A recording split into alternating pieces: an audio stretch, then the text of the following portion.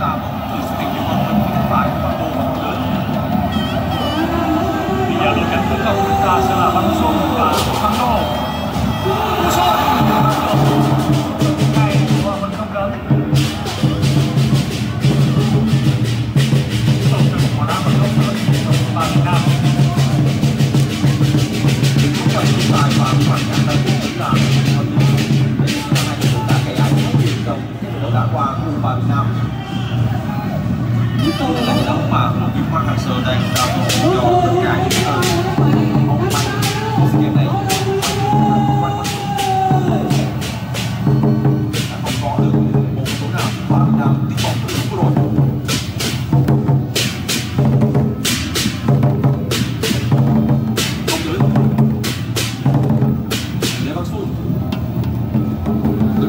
một dành cho Lê Văn Đồ Đi chèo từ chuyển chéo Văn đường qua đây là tổ dành cho bóng Việt Nam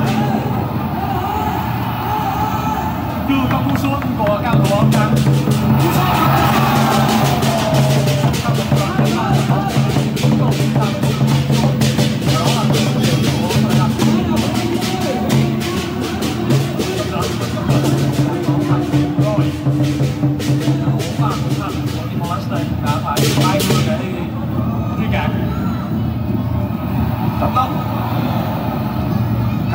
Nam đang gây áp lực ngay ở vòng cấm địa của Timor Chúng ta cần phải gia tăng sức ép nhiều hơn nữa. Cần phải có thêm nhiều con số và những tình huống di chuyển của bóng liên tục để tạo ra sự rối loạn của cầu Tiến Linh có lẽ cũng sẽ là một trong những cái tên được đưa vào sân trong những phút tiếp theo. Chắc chắn là kinh nghiệm và bản lĩnh của Tiến Linh sẽ giúp cho U23 Việt Nam giải quyết được những tình huống dứt điểm nhiều hơn. Văn Tùng và Thanh Minh cũng đã có được những khoảng thời gian để được trao cơ hội. Lúc này chúng ta vẫn đang rất cần bàn thắng để giải tỏa bế tắc Văn Tùng đây là Văn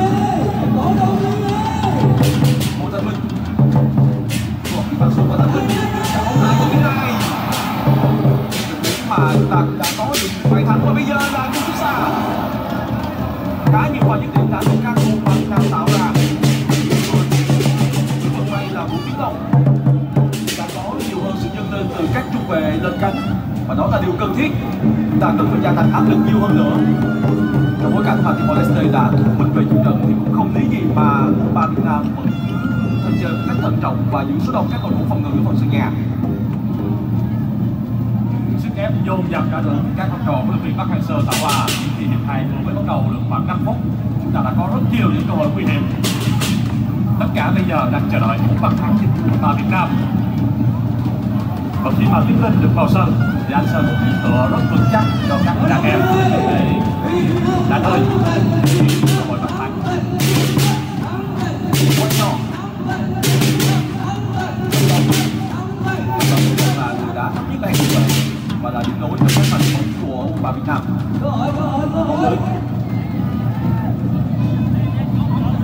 Bắn xuân tiếp tục là từ huống Lê Huy của bắn xuân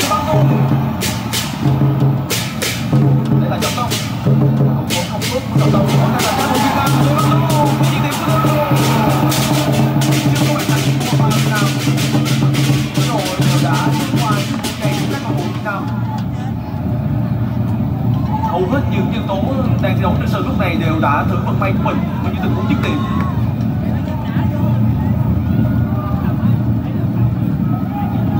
ta đã rất nhiều lần tiếp nối trong các trận đấu trước, đặc biệt là ở trận hòa U23 Philippines với tỷ số không đều mà đến trận đấu thứ tư này rồi, thì kỹ năng xuất hiện và khả năng chuyển hóa rồi thì bạn thắng của U23 Việt Nam.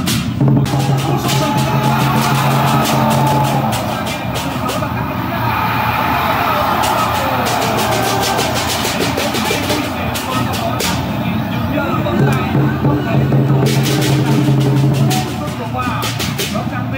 Việt Nam sức ép ngày một lớn đã được cao thủ áo tạo ra bây giờ chúng ta chỉ còn chờ đợi bàn thắng mà thôi. Bóng đã hai lần tìm đến xa ngang khung thành của Juninho trong pha bóng vừa rồi. Và ngày hôm qua nếu như khán giả theo dõi Serie A trên HTV thể thao, chắc chắn vẫn còn nhớ trận đấu mà AS Roma cũng đã có được bốn tình huống dứt điểm trúng sang ngang của thành Indonesia và cuối cùng thì họ chỉ có được một điểm trên kết quả hòa một đều được tạt bóng của các thủ Ba Việt Nam.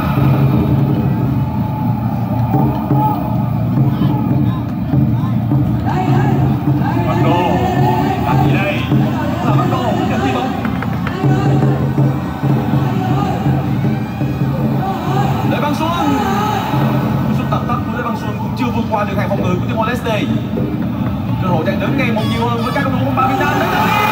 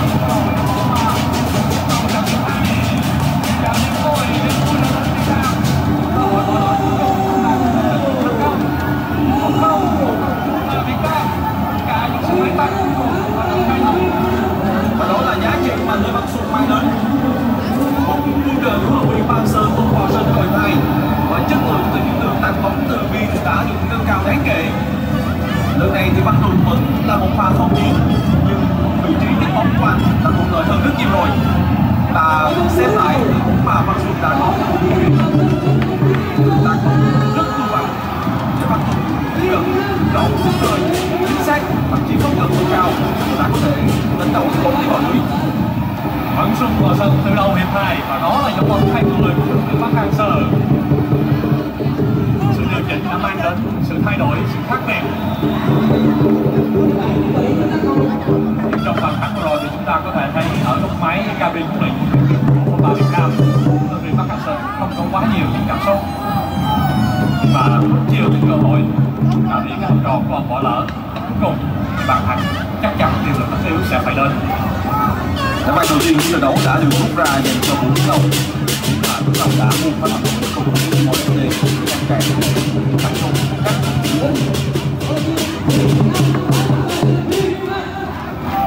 nếu không tác động của Tuấn thì cơ hội sẽ rõ hơn dành cho các đội bóng này. Và đó chính là một trong những điều mà các đội bóng đang sẽ cần phải lưu tâm. Đó chính là duy trì sự tập trung sau khi có được bàn thắng, sau khi trận đấu được nhắc phục trở lại với các cầu thủ trẻ thì việc duy trì sự tập trung sau những tình huống như vấn là điều không dễ một chút nào.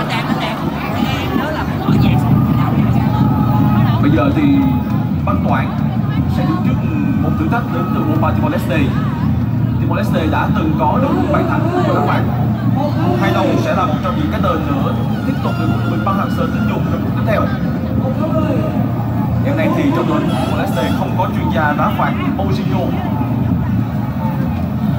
và người đang đứng trước bóng lúc này là số 15 Amendo Ameda duy nhất trên thắng ba điểm trong sân vận của Timor Leste nào chúng ta hãy dành một tràng pháo tay để cổ vũ tinh thần cho đội tuyển Việt Nam Tiếp thôi từ đầu trận trước giờ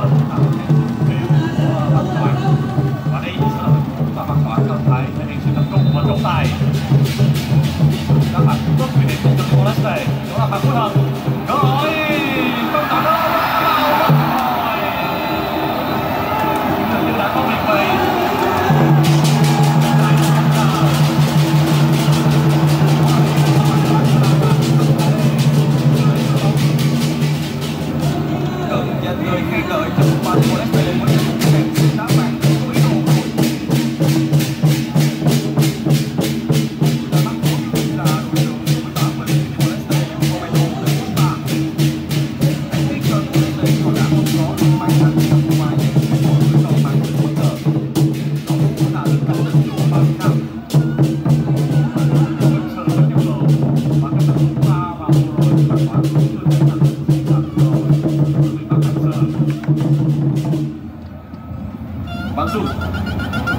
vừa rồi của Văn Tùng là pha lập công đầu tiên của anh ở kỳ SEA Games này.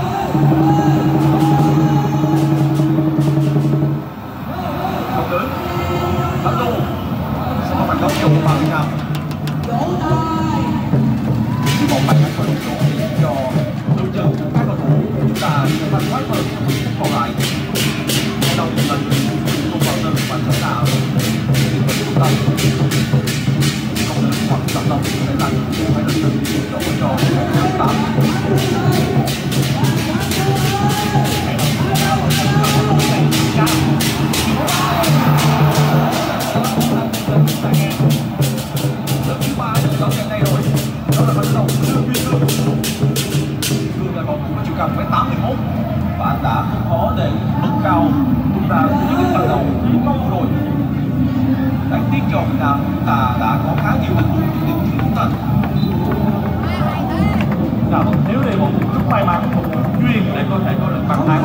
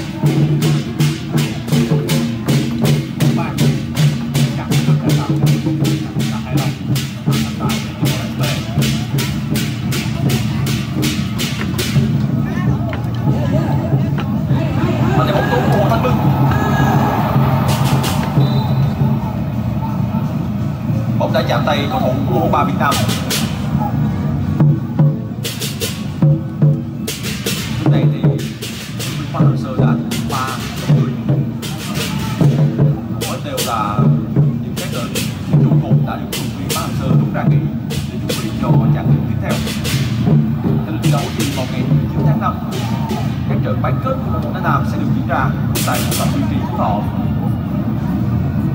Nếu như bảo toàn được kết quả này thì Việt Nam sẽ đứng đầu bảng A và sẽ gặp đội như bảng B.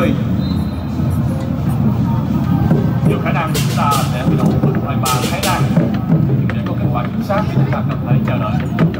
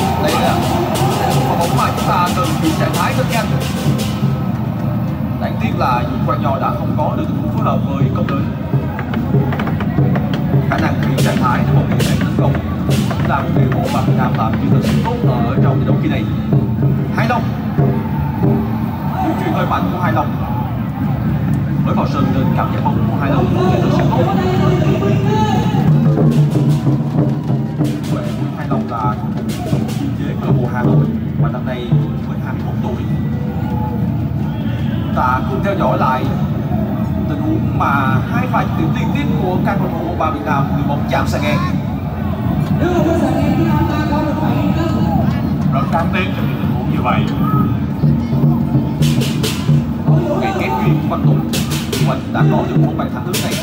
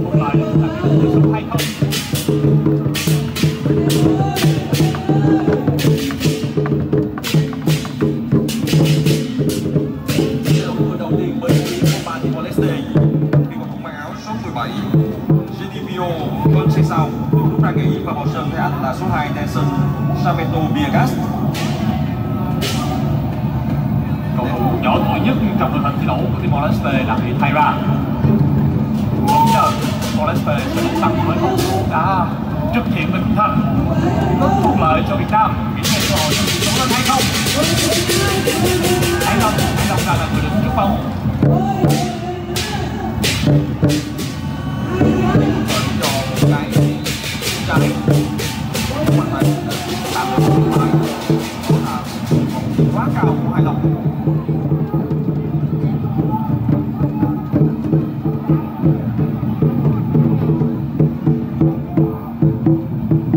bóng đã hướng đến vị trí của Vũ Tiến Long.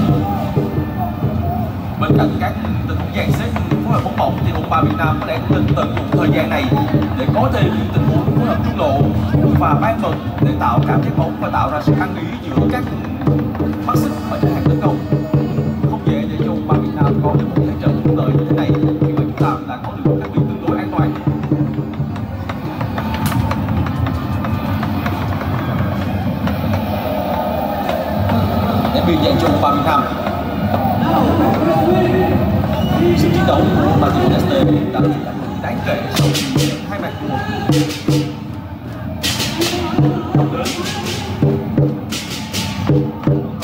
dài hơn đó và nó đã mất đi sự cầu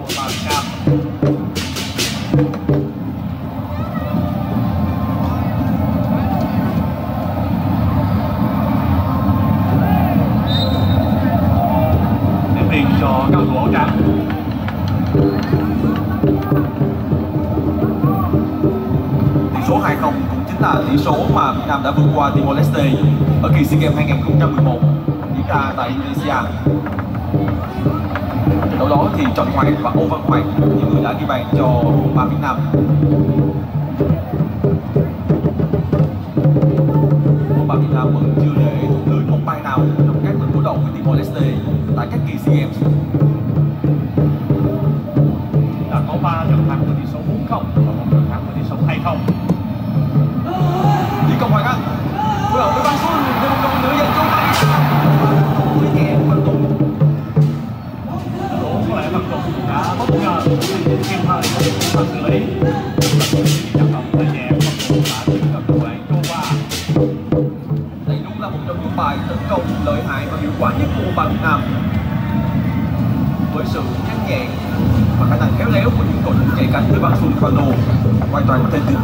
truyền rồi trả ngược lại cho những cầu thủ bên trong.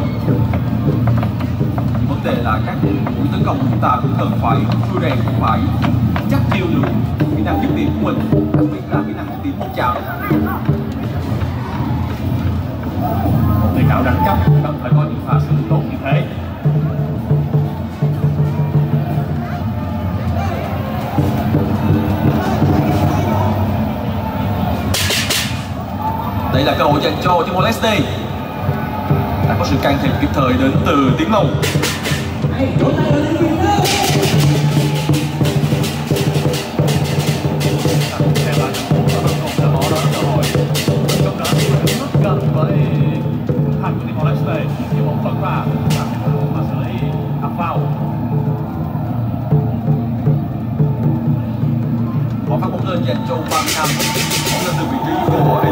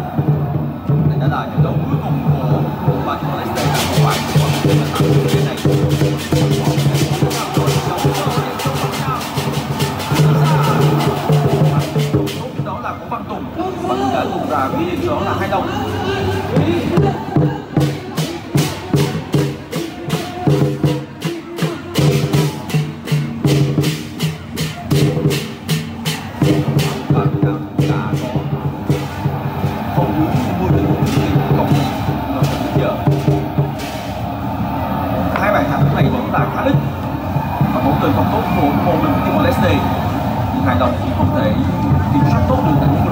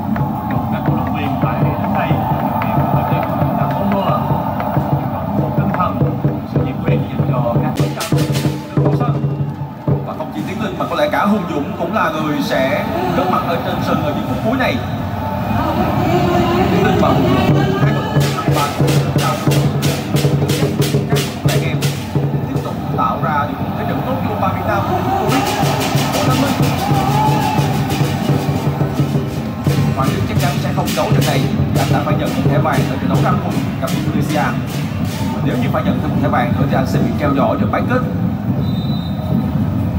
Lý Công Hoàng Anh cũng là cầu thủ đã phải nhận thẻ vàng trong trận đấu với Indonesia. Và bây giờ cầu thủ số 16 người còn sân với Việt Nam, đó là Đỗ Hữu Dũng.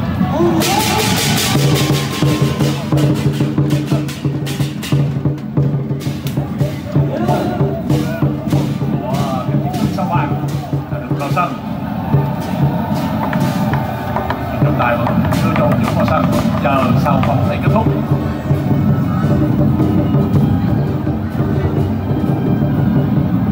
hậu vệ chân của các U23 Việt Nam cho công Hoàng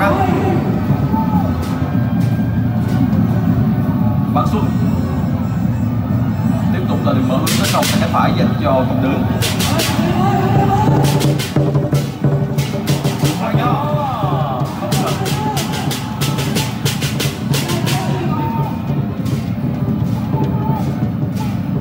quả nhỏ rất sòng sáo, nhưng anh cần chính xác hơn trong hợp lý của mình. Đã có lỗi của Hai Long.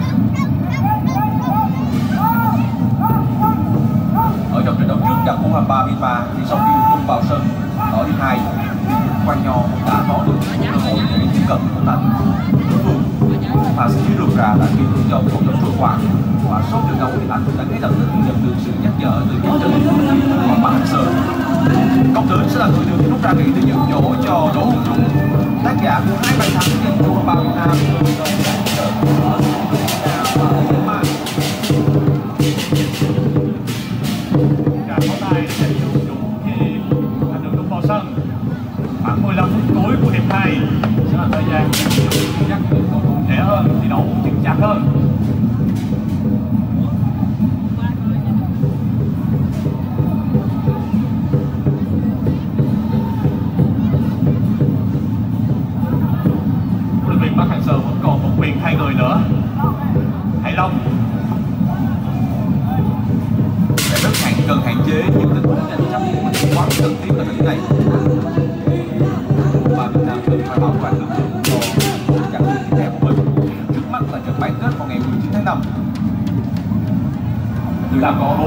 Chuẩn bị cho trận bán kết. Ta sẽ có chỉ chưa có một ngày so với đội tuyển B. Lê Văn Xuân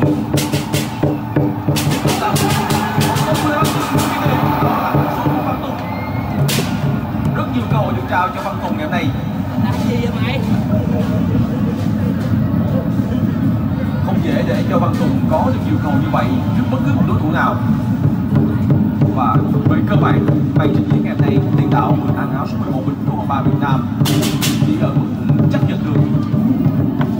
Anh vẫn sẽ cần phải nỗ lực nhiều hơn nữa để cạnh tranh.